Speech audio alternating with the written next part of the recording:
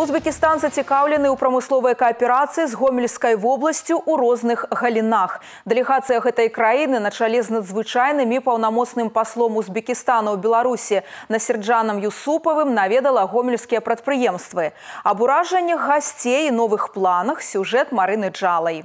Тавараабарот нашага рэгіёна з гэтай краінай за 9 месяцаў перавысіў 7 мільёнаў долараў. Тэмп росту да аналагічнага леташняга перыяду звыш 135%. Тавары ва Узбекістан пастаўляюць каля 30 гомельскіх прадпрыемстваў. Яны экспартуюць піламатэрыялы, поліэфірныя ніткі, нятканыя сінтэтычныя матэрыялы, метызы, шпалерную паперу, комбайны. Предприятие Гомсельмаш – это известное предприятие. Э, Действительно, оно не может не производить впечатление. Э, целая линейка э, этих э, комбайнов, этой сельскохозяйственной техники, которая востребована в Узбекистане. И вот мы с руководством завода обсуждали вопросы производства на условиях промышленной кооперации в Узбекистане. Я думаю, что в самое ближайшее время, в ближайшие годы уже будут более существенные результаты. И мы в Узбекистане тоже будем производить эту продукцию.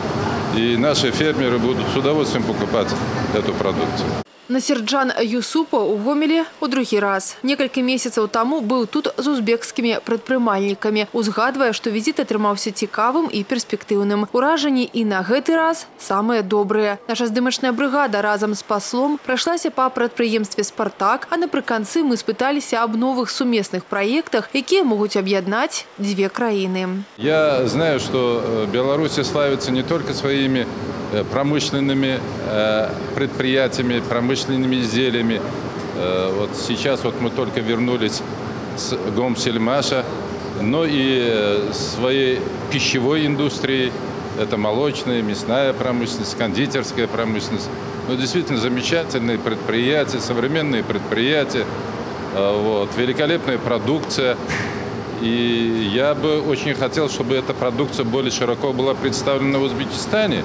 И с тем, чтобы не только мы отсюда вывозили эту продукцию, но и чтобы производили в Узбекистане аналогичную продукцию с помощью этой э, знаменитой кондитерской фабрикой «Спартак».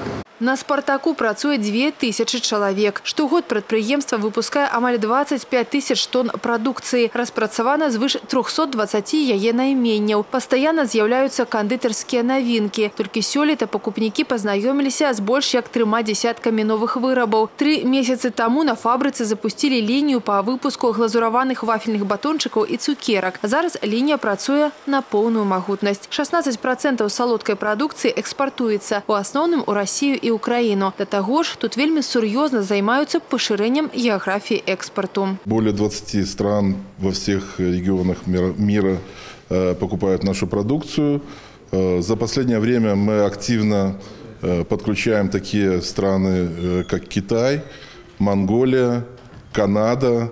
Активно ведем поиск и ну, всевозможные, так сказать, направления в экзотических странах это Кипр, то есть уже мы выходим на более серьезные рубежи, то есть э, сроки хранения нашей продукции позволяют продавать продукцию на экспорт в дальние страны, то есть ну, в этом смысле мы работаем активно, выполняем все поручения правительства и президента.